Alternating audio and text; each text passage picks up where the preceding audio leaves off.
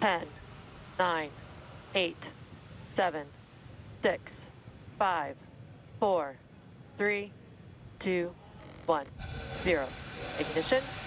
Liftoff of the Falcon 9 and Crew Dragon. Go NASA, go SpaceX, Godspeed, Bob and Doug. America has launched. And so rises a new era of American spaceflight, and with it the nominal. ambitions of a new generation continuing the dream. 20 seconds into flight, stage one propulsion is nominal.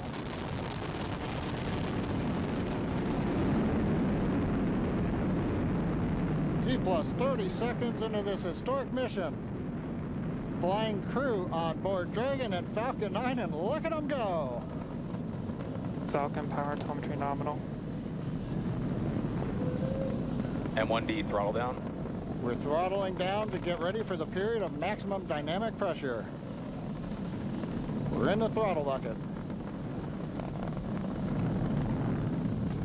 Reports say all systems are go. Vehicle is supersonic.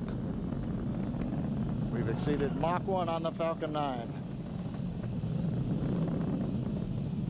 M1D throttle up. We're throttling back up to full power as we're through max Q.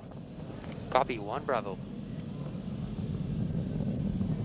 And we heard that one Bravo call out. That's just the second abort zone that they're in. They'll continue to be on this until the first stage has done its job and they switch over to the second. At this point, Bob and Doug pulling about 2.3 Gs, 2.3 times the Earth's gravity, already moving at over 1,500 miles per hour.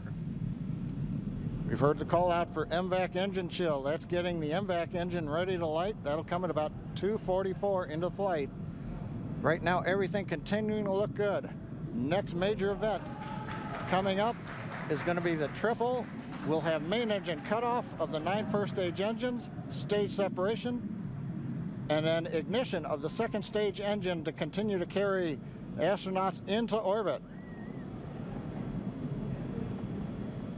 Coming up in about 20 seconds. M- M1D throttle down.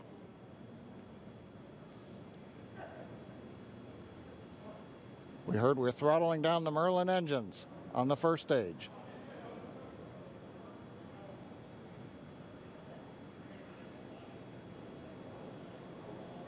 And we have MECO.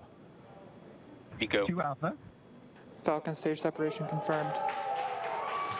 Copy, two Alpha. MVAC ignition.